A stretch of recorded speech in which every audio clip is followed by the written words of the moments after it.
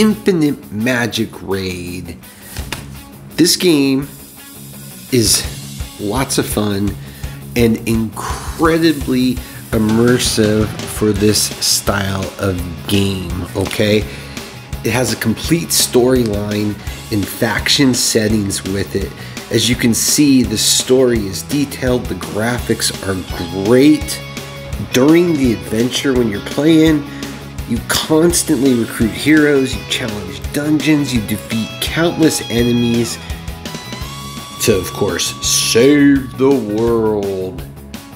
But you experience different cultures and customs all over the continents that they have available to you to explore. It's got strange cities, and it's just got a really nice feel and continuity about it. So, what does it all entail? Well, the game itself consists of over 200 heroes, which is pretty crazy to think about. What you're looking at right now is when you first log in and all the different areas that are available to you.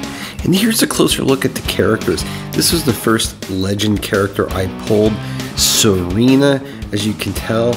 I mean, look at the builds on these. They look crazy good. And there are so many different types of characters. It's unimaginable the different kinds of combinations you can come up with with your teams. Now, what's really cool though too is when you start up, quite a few quality characters just by by playing the game. If you finish the beginner's challenge, you get space. This is her right here looking stylish as ever, a legend character which is top tier in the game. A quality character at that, if you look at it. That's her basic attack, her active skill Nightmare, which not only deals 200% attack damage to a single enemy with a 60%, 60% chance to reduce their speed. Always love speed reduction in characters. Then you've got the passive skill, which is increases self-turn meter by 18% at the beginning of each wave. Just quality stuff, and you just get this character from playing the game. And then if you just log in 14 days straight, you get Margarita. And this character is another solid character, another legend character. Uh, she deals some nice damage too.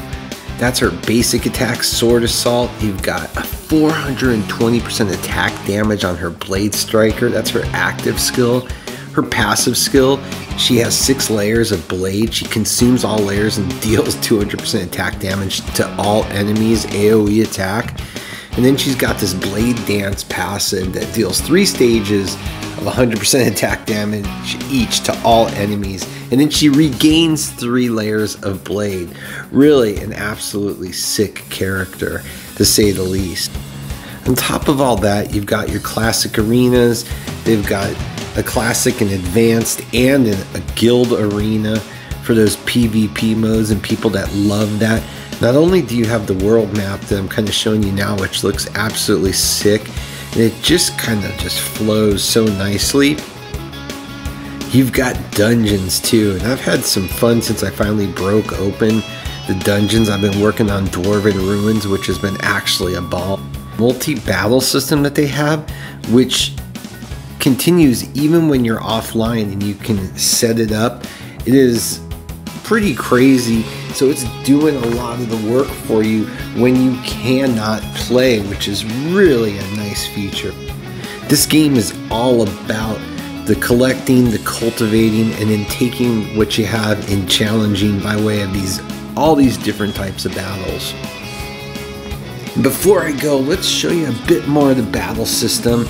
As you can see, it's in depth. The storytelling continues on at the start of each chapter, as well as in between even some of your battles. I'm just on auto right now because I'm recording this video, but by no means do you have to use auto and there are parts where you should not be because you really have to plan out the assault of your team properly, which makes it so much fun for those types of things.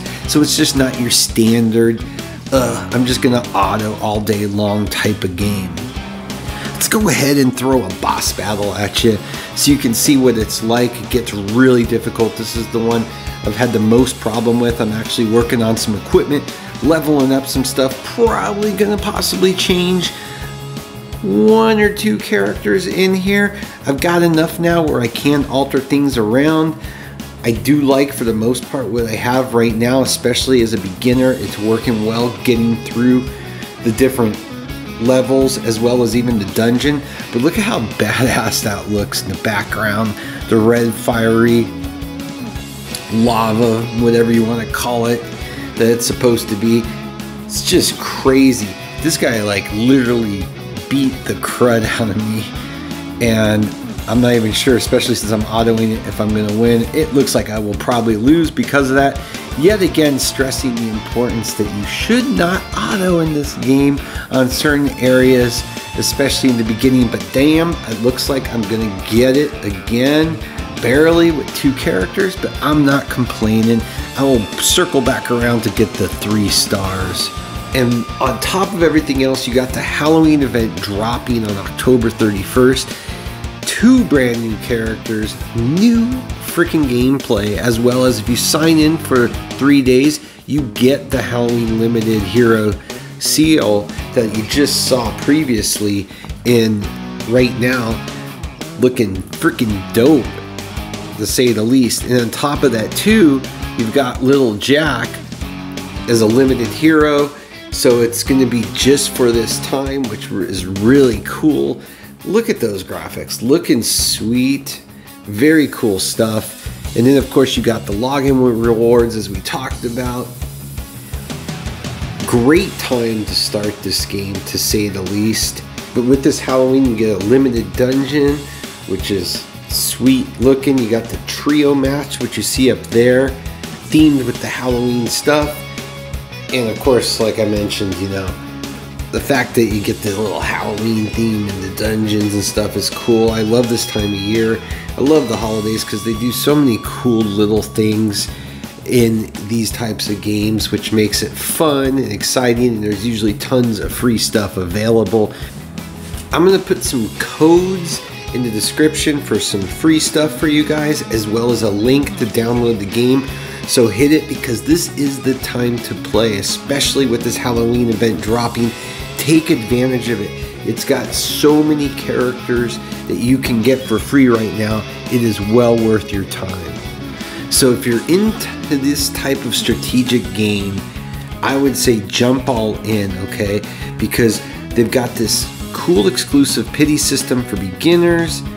You get tons of rewards, as I talked about earlier.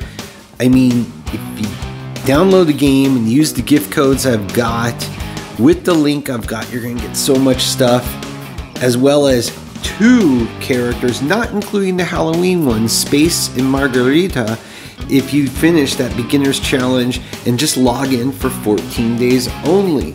So, if this is the game you're into, take advantage of it. It's got great idle gameplay. You have multi battles when you're online and offline. What is there to say? It's that simple. Go ahead and give it a shot. It ain't gonna cost you anything, and it's a solid game and looks great. If you are into these types of games, I highly recommend it. So, guys, I'm on server 19 right now, so come on in and friend me and go ahead and join in and give this a shot. Again, I'm going to just put a link in the description to make it easy for you. Click on that link to download it, as well as some codes to get you going. But don't forget, try to do this as soon as possible because you want to take advantage of the Halloween events on top of the two characters that you're already going to get in the beginning in that first two weeks. As always, please like and subscribe. It helps so much. Hope you're having a great day. Take care.